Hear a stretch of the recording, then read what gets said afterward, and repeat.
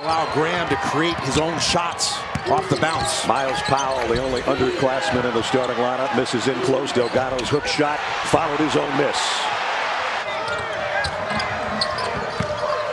Delgado backing in on Lightfoot.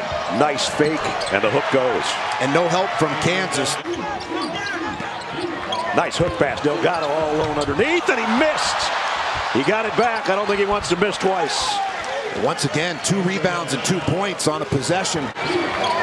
Delgado, point blank range, didn't catch it cleanly No, and that allowed Kansas size to play over the top and find Delgado. And now the lob way in deep to De Sousa. And those two battling underneath. Going to be Seton Hall ball. Going to use them depending on time and score.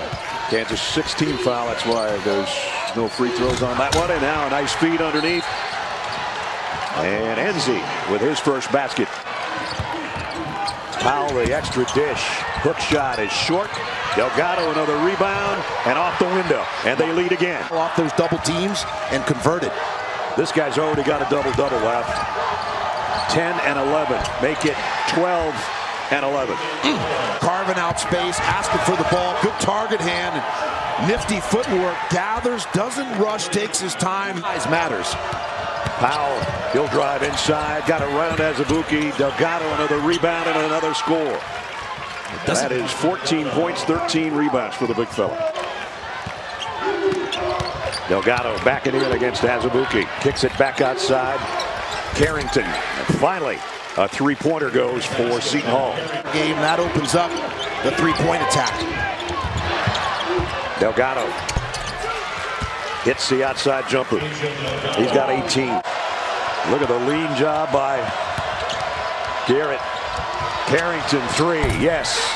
Big shot for Khadeem.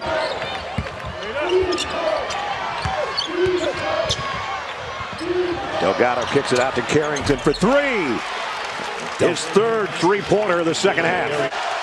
Seton Hall can't keep matching twos with threes or they're going to get blown out. Delgado. Wow, talk about battling. That is a fun matchup to watch. Rodriguez. Another rebound. Delgado and another bucket underneath. Lead back to nine. Delgado got his man in the air and hammers it home. Okay, big fella. Again, Let the big dog eat. here he is on the outside. Powell's going to try a huge three and got it.